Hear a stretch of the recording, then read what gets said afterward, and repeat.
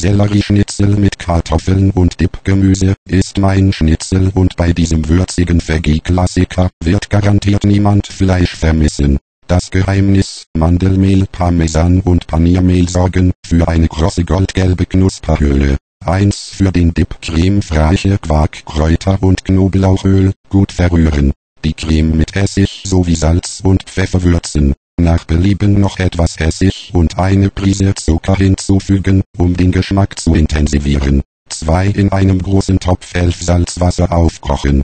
Den Sellerie schälen und in etwa 1,5 cm dicke Scheiben schneiden, diese nach Belieben nochmals halbieren. Im kochenden Salzwasser etwa 5 Minuten bis fest garen, mit dem Schaumlöffel herausheben und auf einem Küchentuch abtropfen lassen. Das Kochwasser beiseite stellen. 3. Inzwischen die Kartoffeln in der Schale waschen.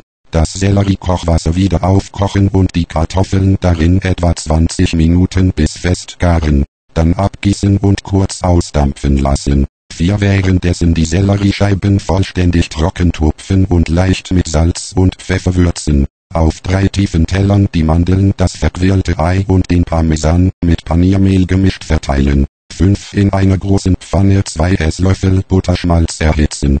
Die Selleriescheiben zuerst im Mandelmehl wenden, dann durch das Ei ziehen und, zuletzt mit der Parmesanmischung panieren. Die Panade fest andrücken und die Scheiben im Butterschmalz bei mittlerer Hitze auf beiden Seiten goldbraun backen.